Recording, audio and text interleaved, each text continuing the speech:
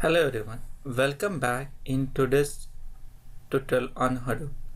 In today's tutorial we will see a brief introduction to Ambari tool. Ambari is a tool which is used to do the administrative activities related to the Hadoop. So we can manage or we can configure the Hadoop related, configuration. So what is Ambari? Ambari is a a web-based tool. So that means we can access the Ambari application in the web browser. It is mainly used for the provisioning managing and monitoring Apache Hadoop clusters. So we know that Apache Hadoop it is not a single application. There are multiple nodes with multiple application with multiple purposes the cluster is created and in order to manage this cluster the Ambari tool or Ambari web application is used. Ambari supports Hadoop, HDFS that is Hadoop file system, Hadoop MapReduce, Hive, HCatalog, HBase, Zookeeper, Oozie, Pig, Sqoop services.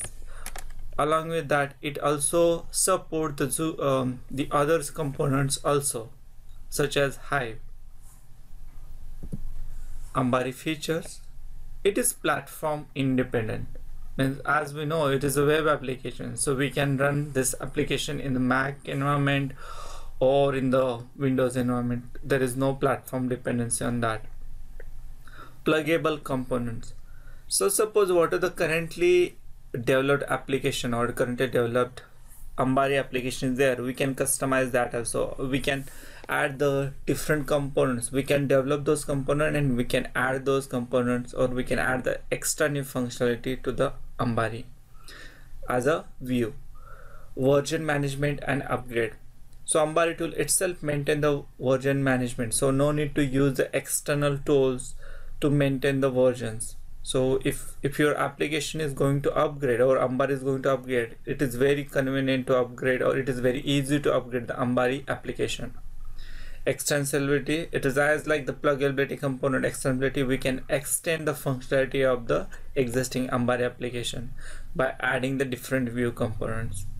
We can deploy the various component also various application in the Ambari tool also. Failure recovery yes there is a failure recovery functionality available in the Ambari which will help us to recover to its uh, original point. So for example if you work in the real-time application you might have the disaster recovery uh, scenarios disaster recovery process in your current project. Similarly if something goes wrong we have to go back at particular point or we have to go back go back to the some uh, a data point or some uh, some uh, some particular business scenario situation. So we can go there and we can reach the till that point once if you come across the failure uh, failure issue. Security yes. The Ambari application has very robust security and it can be synced with the LDAP or the Active Directory. So these are the various features about the Ambari application which will be which is a major component or major application which is used to manage and monitor the Hadoop cluster. Let's uh, have a look on the some of the terminologies which we are going to use in my our upcoming tutorials. The first terminology is nothing but service. Services in the Hadoop stack examples are HDFS, HBase, Pig. So these components are act as a service. Service nothing but which something start serves the process and get destroyed. So these are the features or those are the components uh, comes with the service. So in case of the ambari whenever we say service it is nothing but component which provides some services such as hdfs hbase pig etc then we have the components each service has components for example hdfs has three components name node secondary name node and data node node or host so node or host are the actual server points or server nodes. Node refers to machine in the cluster. So Hadoop itself is a big cluster and in that cluster we have the various nodes or various machines and each machine is treated as a node in the Ambari terminology. Node components an instance of a component on a particular node. So whenever we are going to use that node, it will create an instance and such instance is called as a node component. this is the Ambari architecture. In today's session, we are not going to show in detail about the Ambari architecture or the Ambari components. We will just have the overview of that. So Ambari architecture has the various components such as if you see this it has the Ambari server and it has the Ambari agents. Ambari server consists of master service, then APIs and agent interface. By using agent interface, uh, agent Ambari agents communicate with the Ambari server. Ambari server also maintain its own database for the metadata. So and so Ambari has the two component Ambari server and Ambari agents. Ambari agents communicate to the Ambari server through the agent, agent interface or the Ambari agent interface by sending the heartbeats and by receiving the heartbeats.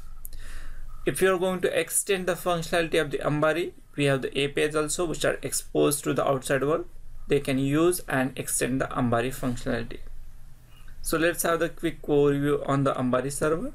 So Ambari server interact the various components such as heartbeat handler, FSM, action manager, coordinator, stage planner, dependency tracker, manifest generator.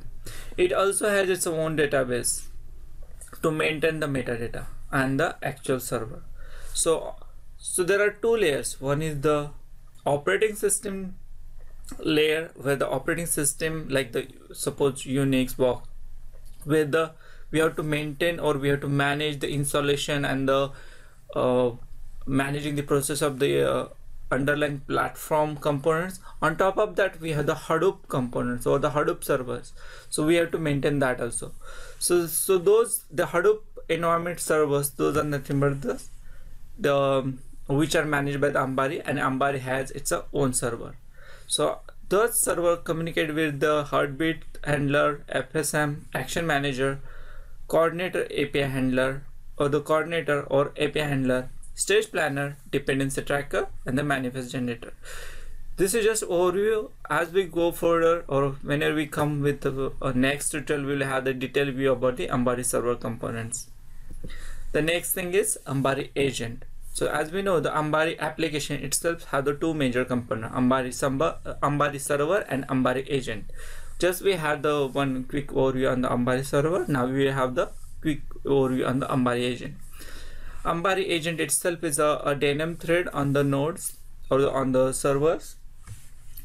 What it does, it sends the heartbeats to the Ambari server.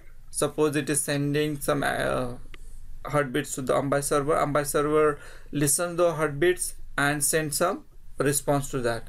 So this is the it is mentioned here.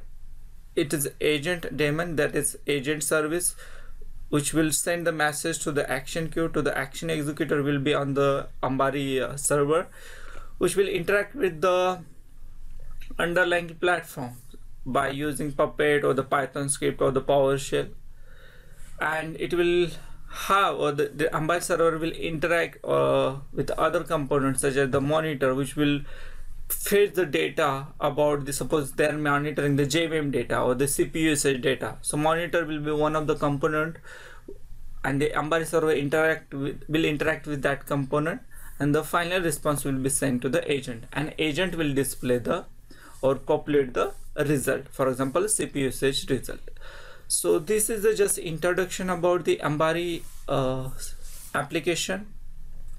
So Ambari application is used to manage and monitor the Hadoop cluster. I hope this tutorial will just start you to think about the learning the Hadoop and more interesting topics will be coming very soon. So keep watching this space. Do not forget to subscribe my channel for more interesting update about Hadoop. Thank you and have a nice time.